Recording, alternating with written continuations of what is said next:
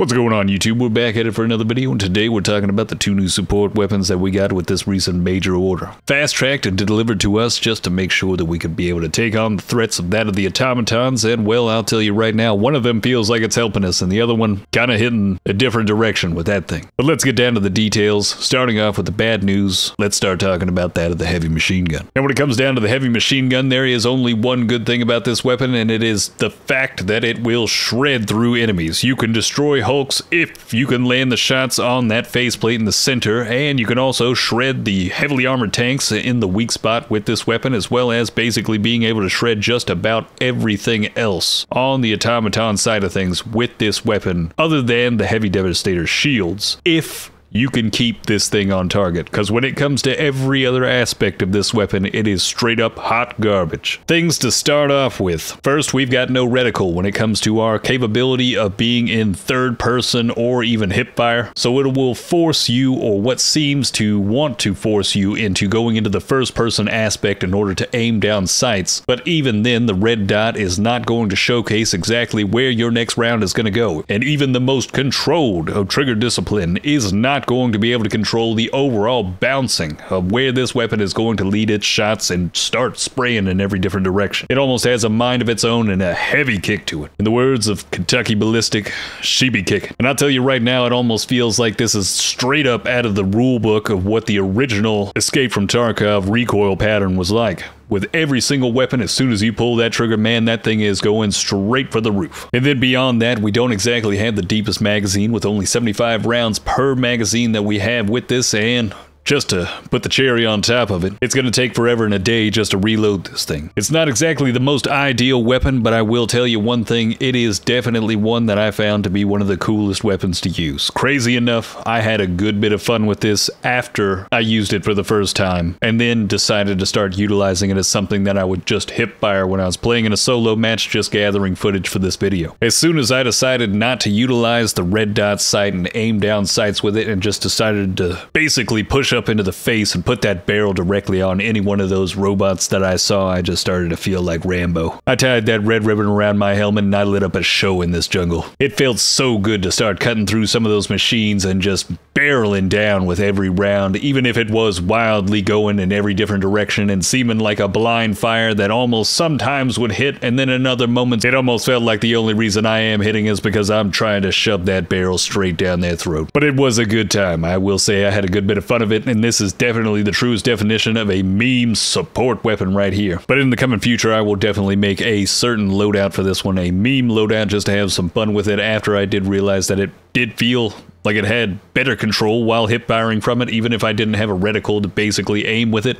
It was a little bit crazy. I think there might be something wrong with this. They may need to do some fine tuning on this weapon in order to bring it in line. I know it's supposed to be difficult to wield, but it feels almost impossible to wield at most times. But with a lot of skill and a whole lot of luck, you can have a little bit of fun with this one, and definitely feel like real Rambo against that of the automatons. But now let's move on to the better support weapon that's come alongside, which is the Quasar Cannon, which some may call the new king of the rockets, or the Infinite EAT 17, or in other words, the Infinite Eat It. With the Quasar Cannon, we have an energy weapon that no longer needs the capability of reloading, it will just need a cooldown of about 10 seconds to basically fire off yet another one of these EAT 17s or effectively that is going to be the equivalent when it comes to what damage this is going to be dealing. It doesn't exactly have the greatest blast radius, and you will have to charge this up in order to fire it, so it will take a little bit of skill and a little bit of accuracy to make sure that those shots are landed, but overall it is one of those weapons that will be quite easy to control, and more than likely a lot of people are going to be slotting this into their loadouts in the coming future. It is quite resourceful as it will have the capability of one-shotting some of those hulks if you can aim for that faceplate in the center,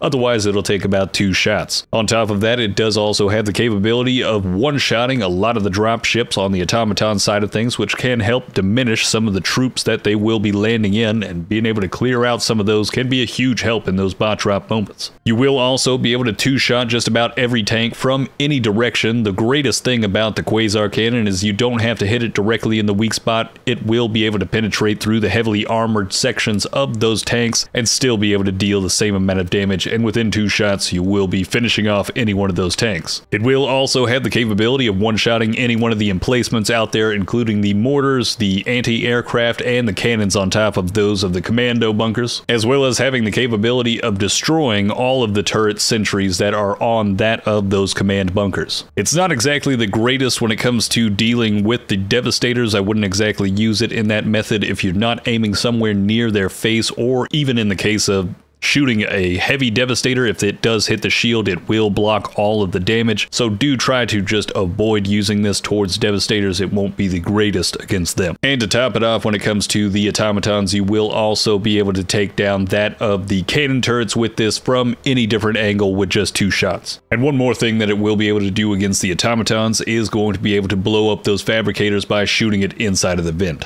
Now, the Quasar Cannon will be beneficial when it comes to facing off with the Terminid as well. Basically, everything that the E-17 or the Recoilless can do, the Quasar Cannon can do itself. So now we have the capability of one-shotting any one of those chargers, and you also have the capability of two-shotting any one of those Bile Titans that you may see as long as you're hitting it directly in the forehead. But do be aware it may take more than two shots if you're off even by a hair. Sometimes if you do hit just a little bit off, it'll take more than two shots, so you're going to need to be pretty accurate in order to make sure that you're getting it down in those two different rocket shots. Considering this is still going to take about 20 seconds to get done, considering you're waiting on every 10 seconds for that next shot. So something something to pair with this that is going to work fantastic alongside of it is going to be some of those stun grenades in order to keep those Bile Titans sitting in place and easy targets for you to just nail them twice and be able to eliminate them as quickly as possible. And you will be able to close up bug holes alongside being able to two-shot the Shrieker nests, which can go a long way considering we do have infinite ammo. The Quasar Cannon is definitely going to be a very resourceful weapon. It isn't exactly the most fun weapon to use, but it doesn't feel bad to use at the same time. It has a lot of uses to it, and it is going to come in handy with a lot of different group combinations. And I can see a lot of people having a good time with this and being able to wrangle in some of those heavily armored units and being able to get it done consistently, considering they will have unlimited ammo. I don't necessarily think this is going to fully replace the recoilless and that of the EAT-17 as they will have their own place. The recoilless will be a bit faster to fire than this, and at the same time, the EAT-17 is always going to be one of those fantastic fast cooldowns. Whereas if you do have one of those moments with the Quasar cannon where you do end up dropping it,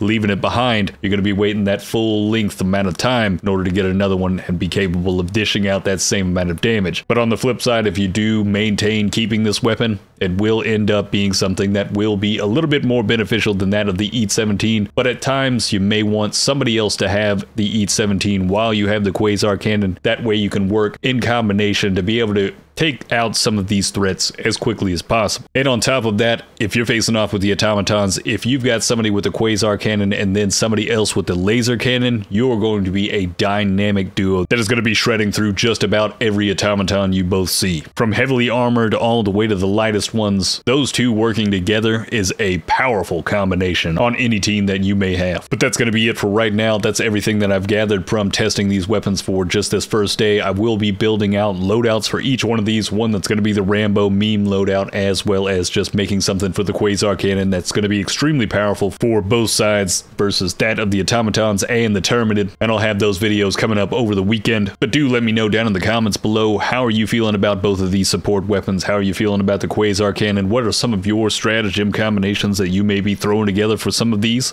And how disappointed are you when it comes to that heavy machine gun? Sadly enough, it's just one of those weapons that just truly feels lackluster, but at the same time has a lot of power that just feels unwieldable. And it's just sad to see. But let me know down in the comments below how you're feeling about it. And if you'd like to see more content like this in the coming future, hit that subscribe button. And if you'd like to see some of this content live, hit that link down in the description below. Follow me over at Twitch, we'll be streaming daily.